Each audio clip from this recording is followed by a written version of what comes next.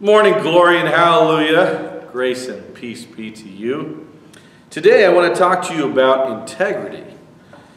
Are you the kind of person who is trustworthy? When you say you're going to do something, do you do it? Are you the kind of person that believes that the Ten Commandments are the right way to live? Only on Sunday? When you say yes, does it mean yes? Or does it mean yes, as long as nothing better comes along? During the Sermon on the Mount, Jesus referenced keeping one's word, meaning that we should have integrity. Jesus said, this is Matthew 5 33 and following. Again, you've heard that it was said that people by people long ago, or two people long ago, do not break your oath or your promises. But keep the oaths or promises you've made to the Lord. But I tell you, do not swear at all, either by heaven, for it is God's throne, or by earth, his footstool, or by Jerusalem, for it is the city of the great king. Jesus, of course, is the great king. And do not swear by your head, for you cannot make even one hair white or black. Simply let your yes be yes and your no be no. Anything beyond this comes from the evil one. When Jesus says not to swear in this context, he means that we should not have to add in degrees, degrees to what we are saying so that people know that we're serious. If I say I will do something, then I should be trusted that it will get done. I shouldn't have to clarify. I, I will do it, and if I don't, you can stick a thousand needles in my eye. Ow. Hmm. Or I shouldn't have to say, I swear on my grandmother's grave, or something like this. Shouldn't have to do it. The people in our church family and the people of the world should know of our reputation as people who say we are going to do something and we follow through. If we cannot follow through, the assumption should always be that there was an emergency because we are people of integrity. Our yes means yes, and our no means no. Should our words mean something different depending on the context? Let me give you an example. If I say to Jesus, I believe that you are the Son of God, I believe that you are the Messiah, the coming one. Christ. Jesus, you are the one that God has sent to rule the world and my heart. You are the one who saved me from my sin and the death that sin was leading me toward. You, Jesus, are my Savior. Should I then live a life that is hypocritical to these statements? Hmm. We know that Jesus says that he came to fulfill the law in Matthew 5 17. We know that Jesus would not want us to break God's commandment, thou shalt not steal. So, should we ever steal? I'm not talking about accidentally putting a pen in your pocket that didn't belong to you. If you've done this and realize it, just go give it back. I'm talking about setting out to steal. I'm, I'm talking about, uh, you know, Ocean's Eleven. They set out to steal. You know, people considering how it should be done before they execute their plan to steal. If we are a people of integrity, should we ever steal? What if you find yourself hungry and without food? Should you set out to steal food so that you will survive? Many have struggled with this moral dilemma. Many would not blame the child who did so. But what about the adult? I think many try to rationalize this sort of situational ethics with such a question. But the problem is that they leave God out of the predicament. How big is your God? We need to trust God. When I was in Bible school in Los Angeles, I had the opportunity to work as a youth leader with a Spanish speaking church. No, I, I, I didn't know Spanish well. However, the kids wanted to speak English anyways. The pastor of the church and I had become friends at college. He was a professor and I was a student. And he asked me if I was interested in driving him and his wife to several places in Mexico where he was evangelizing. Melinda and I were very interested. As a result, we were able to march for Jesus in Tijuana and enjoy the coast of Baja, California, and that's, that's pretty nice.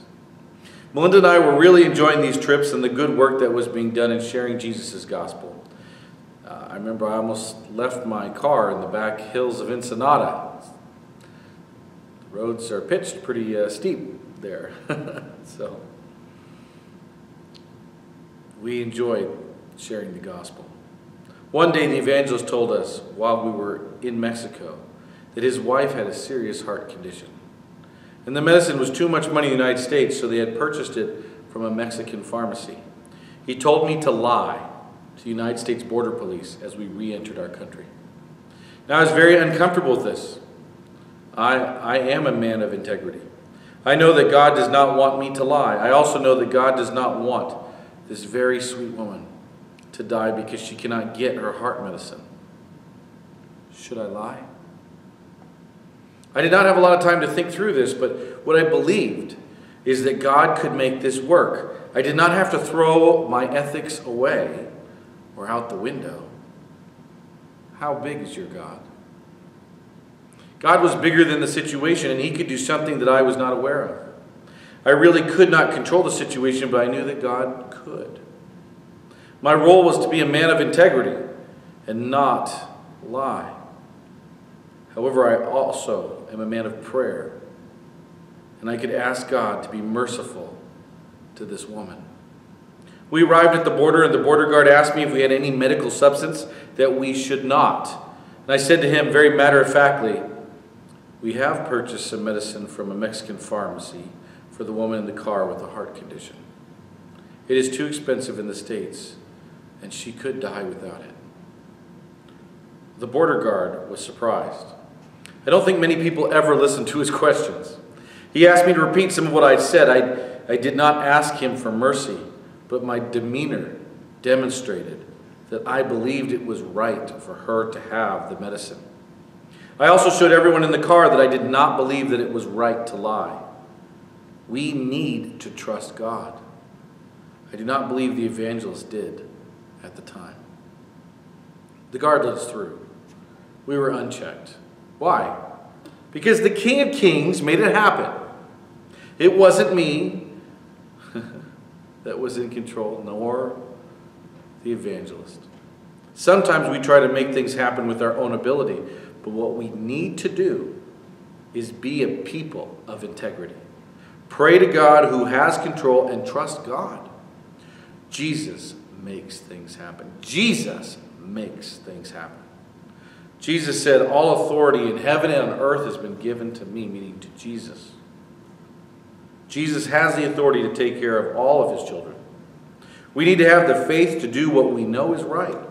This is our role, to do what he has told us is right.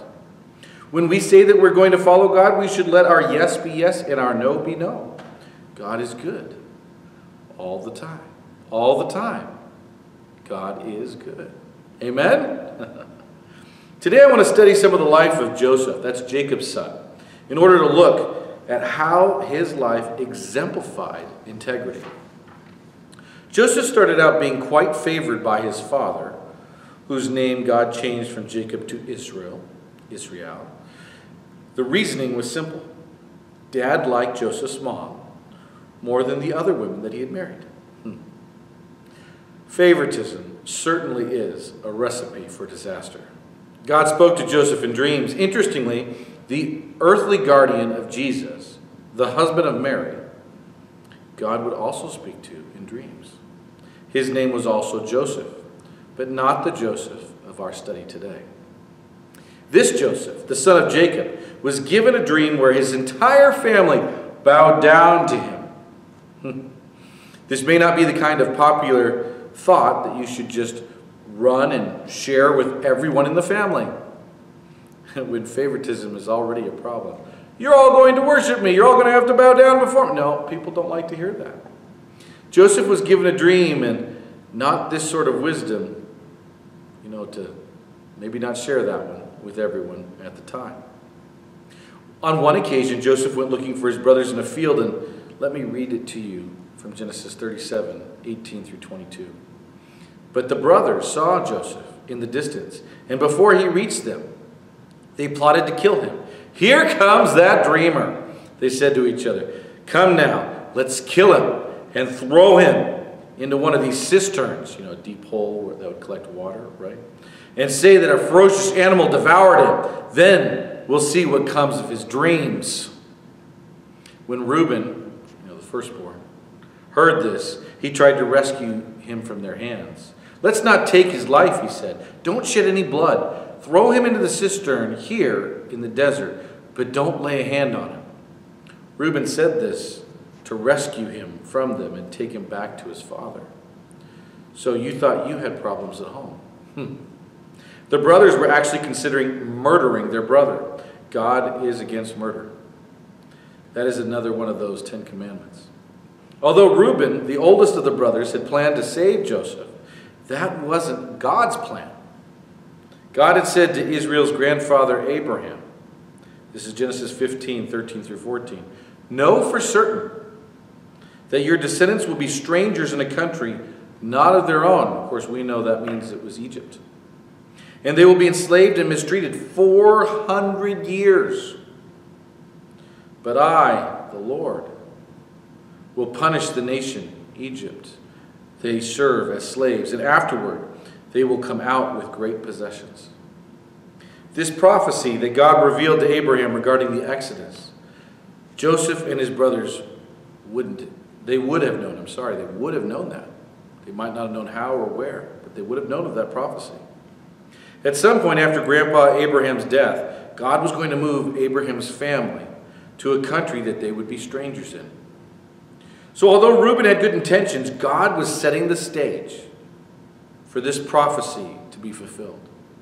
The family would go to Egypt. So the brothers did not kill Joseph, but they did sell him as a slave to slave traders, who in turn sold him to Potiphar, the Egyptian captain of the guard. Now, if you were in Joseph's circumstance, would you honor your commitment to God? When one becomes a Christian, he or she confesses their sin, where they've disobeyed God. They turn away from their sin. This is called repentance. They ask Jesus for forgiveness because Jesus is the one who paid our punishment for sin by dying on the cross. And then the Christian believes in Jesus. Would you still believe in Jesus if your family sold you into slavery? Hmm. For many that know Jesus well, the question is silly.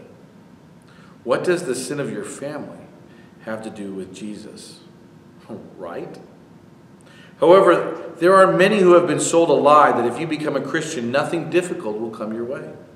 Joseph believed in God. In fact, it was God who gave him specific dreams that he was given the spiritual gift to interpret. Joseph believed God, and yet, though no recognizable fault of his own, other than bragging about a dream, he was sold into slavery. However, God's hand was on Joseph. His new slave master, Potiphar, could see that the Lord was with Joseph because Joseph prospered. Let me read to you. This is Genesis 39 6, the first part. So Potiphar left Joseph left in Joseph's care everything he had with Joseph in charge. He did not concern himself with anything except the food that he ate. Joseph was blessed by God, even though he was in slavery. Joseph was a gifted administrator. There can be no doubt. Potiphar could see that. Joseph's dad had been grooming Joseph for such a role. But the reason for his success was that the Lord was with him. Now, don't think that Satan is going to let God advance the kingdom without pushing back. Don't think that. Let me keep reading. Genesis 39. This is the second half of 6 through 9. Now Joseph was well built and handsome. And after a while, his master's wife took notice of Joseph and said, Come to bed with me. But he, Joseph, refused. With me in charge, he told her, my master does not concern himself with anything in the house. Everything he owns, he has entrusted to my care. No one is greater, no one is greater in this house than I am. My master has withheld nothing from me except you, because you are his wife. How then could I do such a wicked thing and sin against God? Joseph was a man of integrity. He can just say no with the best of them, and no means no. You can see that God was able to take a difficult circumstance and bless Joseph. And Joseph's concern was that he would not sin against God. Joseph had not forgotten about God just because he was in the midst of a very rough trial. In fact, Joseph probably leaned on God more than ever. The idea of committing adultery wasn't going to happen. Joseph was God's man, and that is the way it was going to stay. Now, if God said, Thou shalt not commit adultery, Joseph was going to honor God. He also had every intention of remaining trustworthy to his slave master, who had shown Joseph kindness by putting him in charge. However, some would see Potiphar's wife as the perfect crime. They would see opportunity and hope for secrets to remain hidden, while they went along with the wishes of a wayward woman. I doubt this was her first time reaching for a stranger in her bed. She just seems too comfortable with, her, with the request. Even given this situation, Joseph's ethics remain unchanged. Let me go on to share with you Genesis 39 10 through 20. and though Potiphar's wife spoke to Joseph day after day, Joseph refused to go to bed with her or even be with her. One day, he went into the house to attend his duties, and none of the household servants was inside. She caught him by his cloak, you know, the outer laying of, like, like a coat, outer laying of clothing, and said, Come to bed with me. But he left his cloak in her hand and ran out of the house. When she saw that he had left his cloak in her hand and had run out of the house, she called her household servants. Look, she said to them, this Hebrew has been brought to us to make sport of us.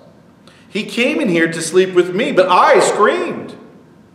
When he heard me scream for help, he left his cloak beside me and he ran out of the house. She kept his cloak beside her until his master came home. Then she told him this story. That Hebrew slave that you brought us came to me to make sport of me. But as soon as I screamed for help, he left his cloak beside me and ran out of the house. When his master heard the story, his wife told him, saying, This is how your slave treated me? He burned with anger. Joseph's master took him and put him in prison, the place where the king's prisoners were confined. Now I know what you're thinking, right? Poor Potiphar. Can you blame him for for wanting to believe his wife? Honestly, the captain of the guard could have lost his temper with a weapon in his hand. Now, Joseph has gone from favorite son to slavery and now prison. What did he do wrong? How did he compromise his integrity? He didn't. God had been with him through the whole ordeal. In fact, God was still with him. Still with him. Let me read to you Genesis 39. This is the second half of 20 through 23. But while Joseph was there in prison, the Lord was with him. He showed him kindness and granted him favor in the eyes of the prison warden. So the warden put Joseph in charge of all those held in the prison, and he was made responsible for all that was done there. The warden paid no attention to anything under Joseph's care because the Lord was with Joseph and gave him success in whatever he did. God continued to bless Joseph in difficult circumstances. His administrative skills continued to flourish wherever he was put. Even after the captain of the guard, Potiphar, brought Joseph to prison, the prison warden still trusted Joseph. It kind of makes a person wonder about Potiphar's reputation, or maybe his wife's reputation. Let me continue with this history This is Genesis 40, the first four verses. Sometime later, the cupbearer and the baker of the king of Egypt offended their master, the king of Egypt. Pharaoh was angry with his two officials, the chief cupbearer and the chief baker, and put them in custody in the house of the captain of the guard, in the same prison where Joseph was confined. The captain of the guard assigned them to Joseph, and he attended them.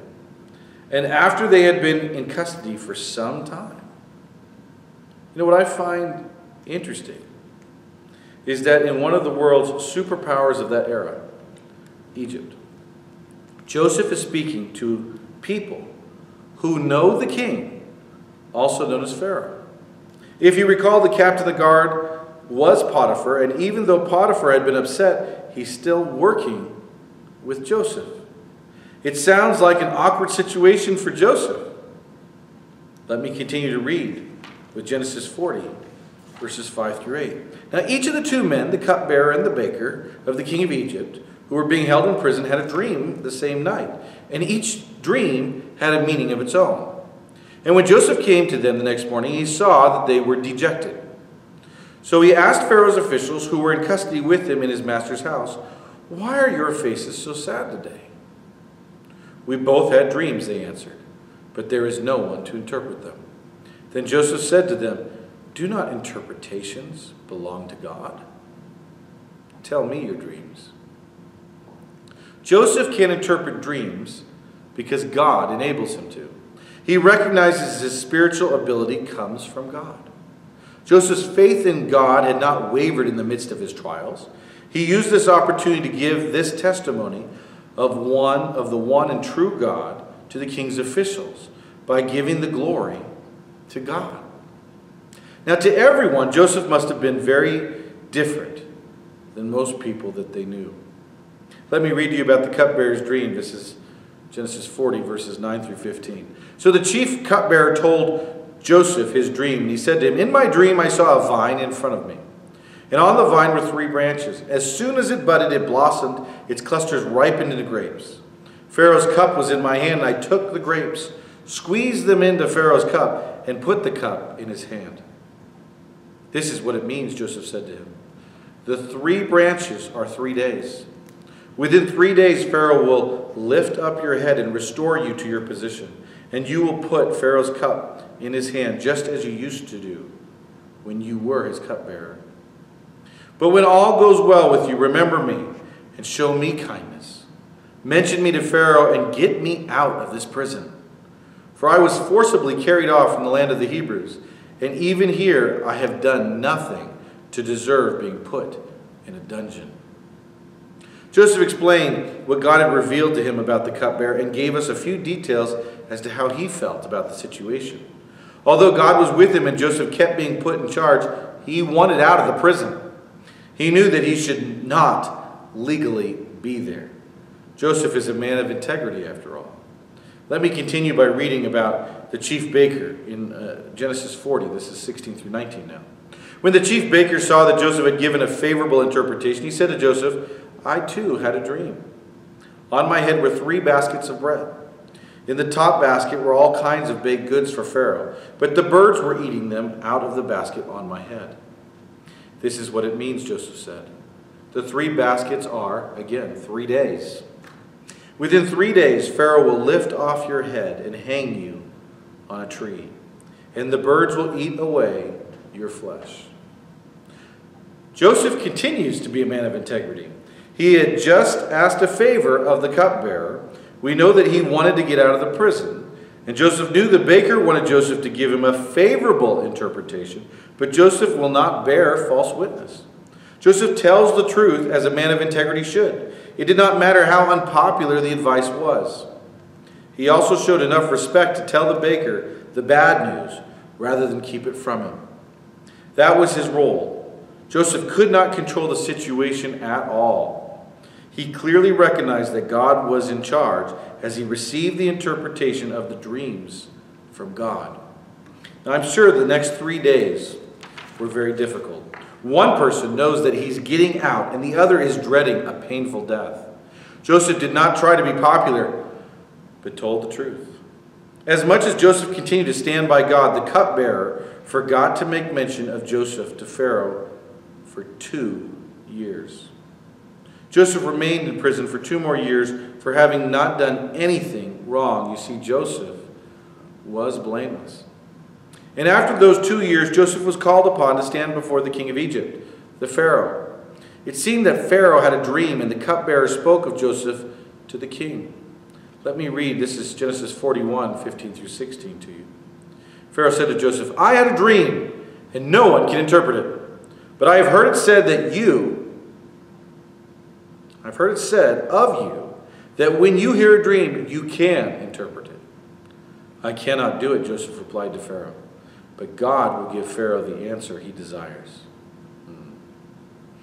From favorite son to slave to imprisonment, and now Joseph was to appear before one of the most powerful men in the known world. This kind of thing only happens when God makes it happen. God had planned all along to bring Joseph before Pharaoh, where God's man Joseph would testify about God. Joseph is quick to say that his spiritual gift is not in his own ability, it comes from God. God is the one that gives the interpretation. God is the one who will reveal to Pharaoh his dream. Joseph always stood by God and did not take the opportunity to elevate himself. As one reads the rest of this history, God reveals that there will be seven years of plenty, followed by seven years of famine. Pharaoh is advised to store up his abundance in order to survive the second period of seven years. Joseph reveals the problem from God and the answer. God keeps his hand firmly upon Joseph throughout the situation. You see, Joseph was faithful with smaller things and was found full of integrity. And so God put him in charge of larger things. Let me finish this history this morning by reading to you Genesis 41. This is verses 38 through 42. So Pharaoh asked them, Can we find anyone like this man, Joseph, one in whom the Spirit of God, one in whom is the Spirit of God? The Pharaoh said to Joseph, Since God has made all this known to you, there is no one so discerning and as wise as you. You shall be in charge of my palace, and all my people are to submit to your orders. Only with respect to the throne will I, will I be greater than you. So Pharaoh said to Joseph, I hereby put you in charge of the whole land of Egypt. Then Pharaoh took his signet ring off his finger and put it on Joseph's finger. He dressed him in robes of fine linen and put a gold chain around his neck. And of course, the signet ring had a stamp. It was the king's stamp. It was like his signature. It's like he could sign for the king. God wants people of integrity who glorify him. He will be with them and reward them wherever they are taken. Joseph told the truth as God told him. He went from favorite son of a family to running one of the most powerful nations on earth as sort of a prime minister. How does a slave become prime minister? It only happens when God's hand is upon such a person. All along, God was bringing Abraham's family, the children of Israel, to Egypt to survive the coming famine. It seemed as if nothing good could happen to Joseph, but God was at work the entire time, saving all the people that Joseph loved. Without understanding what God was up to, Joseph continued to testify about his belief in the power that comes from God. When given the opportunity to make something happen for himself, Joseph walked in step with the Lord rather than attempt to take matters into his own hands. Joseph suffered, but seemed to have the wisdom that King Solomon would later write down in Proverbs 10:9. Solomon wrote, "The man of integrity walks securely, but he who takes crooked paths will be found out." It was good that Joseph stayed with God. He didn't veer from God's narrow path to adultery or attempt to grasp popularity by claiming false witness. God took care of his man as God will for you or me, so long as we are people of integrity. You know, Joseph is not the only biblical example of integrity in the Bible. Jesus also displayed this virtue. Jesus' inner life of devotion to God and his outer life of action were consistent. And the crowds recognized it. This is apparent from Mark 12, 14a. It says, They, this would be the Pharisees and followers of King Herod, came to Jesus and said, Teacher, we know you are a man of integrity. You aren't swayed by men because you pay no attention to who they are, but you teach the way of God in accordance with the truth. This is the first point I want to give you today. When we teach God's way truthfully, we don't allow any cultural influences, any other cultural influences, whether it is people or their ideas. We see that a person of integrity is a whole person. He or she is not different in one situation from another. Their beliefs are apparent in their testimony from the way that they live life. Jesus also demonstrates integrity in Matthew 5 37 when he says, Simply let your yes be yes and your no be no. Anything beyond this comes from the evil one. Second point I want to give you Jesus teaches us that the person of integrity is a reliable person. If you commit to a promise, you should be faithful. This is true regardless of who you make the promise to. Because it's not about them, it's about you. However, if you make a promise to God, you had better keep it. God takes you at your word. Sometimes I'll run into a person who's always trying to make me promise to do what they want. Following Jesus' logic, we should be clear about what we believe is possible for us to do and what is not. There should be no need to make a promise if we give our word. If we say that we will be somewhere, then we should be somewhere. If we are not, then everyone should pray because something went wrong. Third point a third teaching that Jesus teaches that our actions should reflect our beliefs. Jesus says in Matthew 7 21, Not everyone who says to me, meaning Jesus, Lord, Lord, will enter the kingdom of heaven, but only he who does the will of my Father who is in heaven. Acknowledging truth is not the same as acting on that truth. If we really believe that Jesus is the Lord, then we will do the will of God the Father. To say that we believe Jesus is Lord or King and not live that way is hypocrisy. It is the very opposite of integrity. If we say it, we should do it. One of the beautiful things about the story of Joseph is that we can see it from beginning all the way to the end. We saw that Joseph was a finisher. He stuck with God all of his life and even made plans for his burial with God's promises in mind.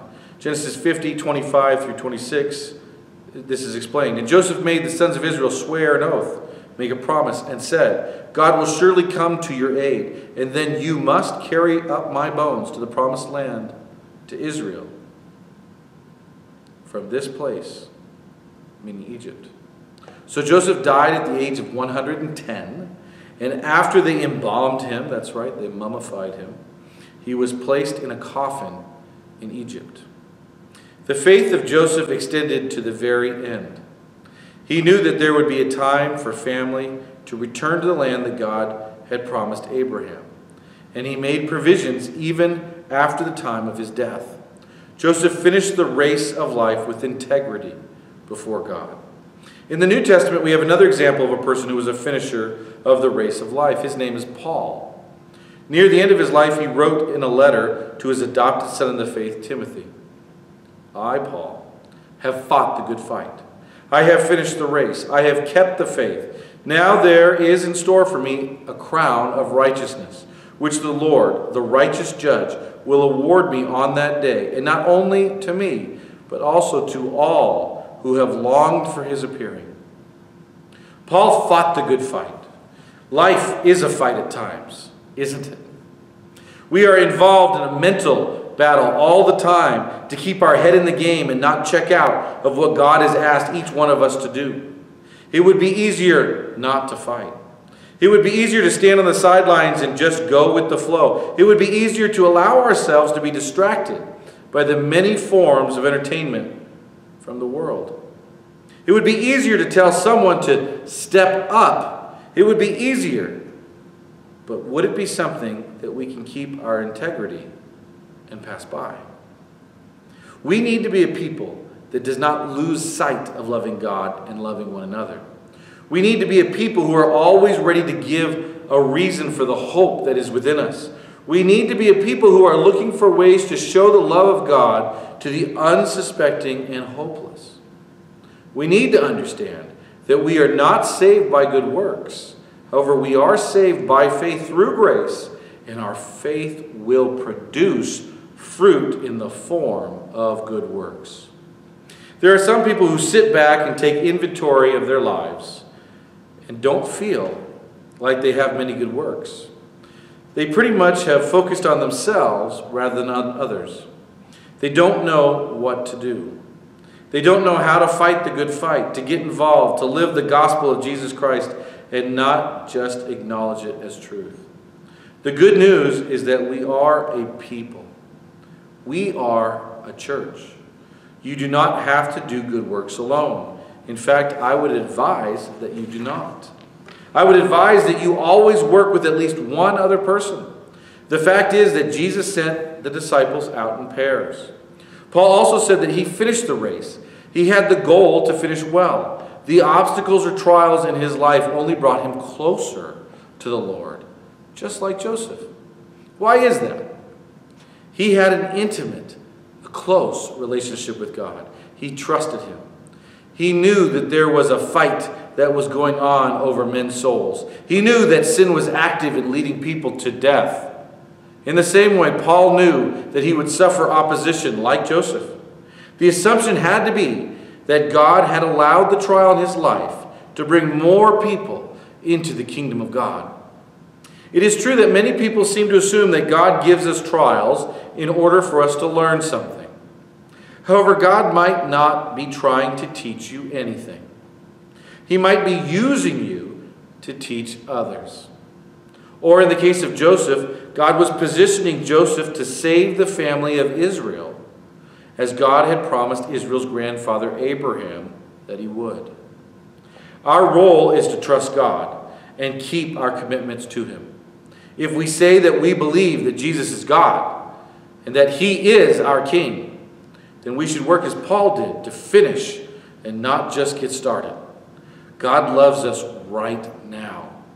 However, the real rewards that God wants to share with us are still to come. When God sets all things right, when He separates those who want Jesus as their Lord from those who don't, we will have eternity to celebrate the goodness and grace of our Lord Jesus. We have blessings coming to us that we cannot even imagine. However, we, however, we need to remember that our time here and now is not that time.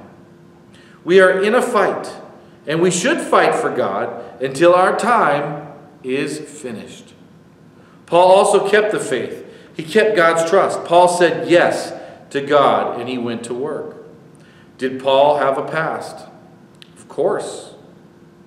Don't we all? However, that is not what we should be looking toward. We should be looking ahead. We should be looking forward with a thankful attitude that Jesus has made peace, peace with us and our past. The person that we were is not who we are becoming. The closer we walk with God, the better we become. In truth, the closer we walk with God, the more we like ourselves because we can see God's hand on our shoulder. God wants people of integrity who live holy lives. God wants us to be trustworthy to each other, the church, and be trustworthy to God. Should we practice what we preach? Of course. Just remember that we should not shy from preaching with our actions. We should, test, we should be testifying to the whole world in how we live our lives, who we are spending time with, and what our goals are. We should not avoid serving with good works so that we can avoid being trusted by our friends in the church, trying to get out of doing something. Once you started on the narrow road of Christianity, don't go looking for an exit ramp. Don't do it. Get involved. Keep your focus. Run the race of life well and be a finisher. Hmm.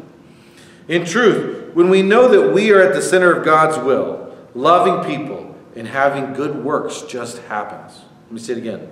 Loving people and having good works just happens. We should make a bumper sticker that says something like that. just happens. It isn't something that you have to try to do. It is the person that God will make you to be. If we align our will with God's will, then it won't matter what trial or trouble gets thrown at us. We will take joy in the fact that we are people of integrity. We will have peace that we are on God's team. We will seek to finish the race of life well. Our yes will always be yes to God.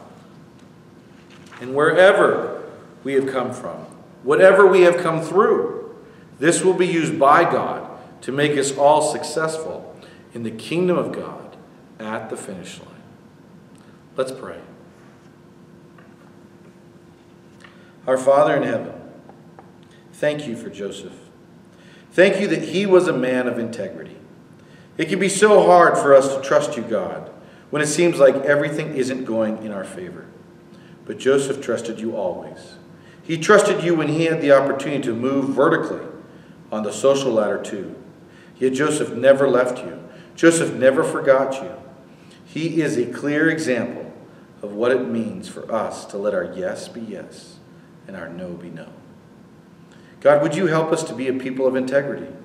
As much as the world seems to enjoy calling us hypocrites, would you see to it that it is not true of us? Thank you that you are purifying us and making us better, holier all the time. May we lift, lift up our lives to you, God. May we live out our promises to one another and have mercy on those who are progressing, that is, working on being a people of integrity. We know you do it, God. Can you help us to give mercy to those in progress as well? So often, people seem to reach to you, God, when they are in dire need, when it seems hopeless. They know they're dependent on you. They know that you are all that they truly have. Would you help us to be just as mindful of our dependence on you, that you are the one in control when we have much, when everything seems to be going in our favor. Truthfully, everything that we have comes from you. You have given us the ability and the opportunity to work for you. May we be faithful as a people. May we be a people of integrity in every season to testify of who Jesus Christ is and how we are a thankful people because Jesus saved us. Amen. Amen.